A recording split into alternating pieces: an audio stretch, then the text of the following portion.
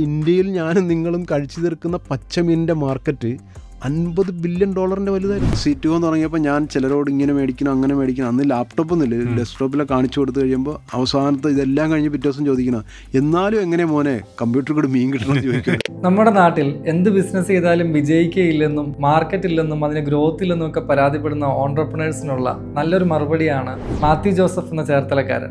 തന്റെ ഇരുപതാമത്തെ വയസ്സിലാണ് മാത്യു ജോസഫ് സാക്ഷാൽ ദിരുബായി അംബാനിയെ കാണാൻ ഗുജറാത്തിലേക്ക് ട്രെയിൻ കയറുന്നത്. എങ്കിലും മാത്യു ജോസഫിന് അംബാനിയെ കാണാൻ സാധിച്ചിരുന്നില്ല. അങ്ങനെ നാട്ടിൽ തിരിച്ചെത്തിയ മാത്യു ജോസഫ് തന്റെ കരിയർ സ്റ്റാർട്ട് ചെയ്യുന്നത് ഒരു സീ ഫുഡ് പ്രോസസിംഗ് കമ്പനിയിൽ അക്കൗണ്ടന്റ് ആയാണ്. നീണ്ട പതിനൊന്ന് വർഷങ്ങൾക്ക് ശേഷം പർച്ചേസ് മാനേജർ പോസ്റ്റിൽ നിന്നും റിസൈൻ ചെയ്യുന്ന മാത്യു ജോസഫ് സ്വന്തമായി ഒരു കമ്പനി സ്റ്റാർട്ട് ചെയ്യുകയും മിഡിൽ ഈസ്റ്റ് ഓസ്ട്രേലിയ സിംഗപ്പൂർ തുടങ്ങിയ രാജ്യങ്ങളിലേക്ക് സീ ഫുഡ് എക്സ്പോർട്ടും സ്റ്റാർട്ട് ചെയ്യുന്നു.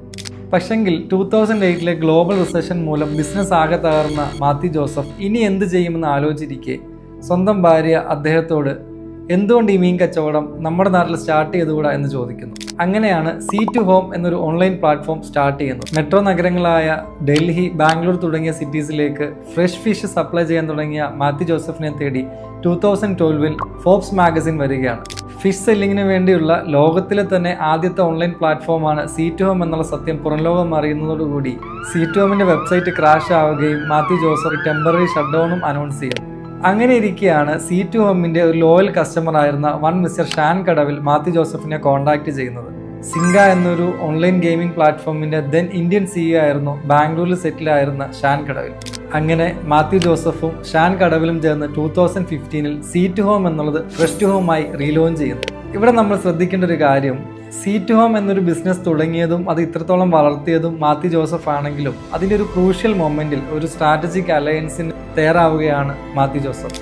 ഈ ഒരു സ്ട്രാറ്റജിക് അലയൻസിനെ കുറിച്ച് മാത്യു ജോസഫ് തന്നെ വിവരിക്കുന്നത് I am from the market Shan he's from the corporate. Okay. ഒരു മാർക്കറ്റും കോർപ്പറേറ്റും കൂടി കണ്ടുമുട്ടിയപ്പോഴാണ് ഫ്രഷ് ഹോം ഉണ്ടായത്. അതായത് സീ ഫുഡ് മാർക്കറ്റിനെ കുറിച്ചുള്ള എല്ലാ മാർക്കറ്റ് നോളജും മാത്യു ജോസഫിനുണ്ട്.